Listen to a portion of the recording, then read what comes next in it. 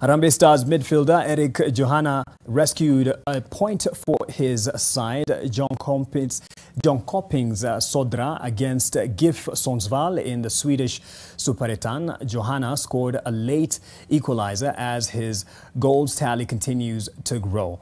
Johanna had opened scoring on the 34th minute before he scored his team's third in, a, in added time for a 3-all draw. Johanna has scored four goals from nine appearances this season for his club, which is placed fifth on 13 points.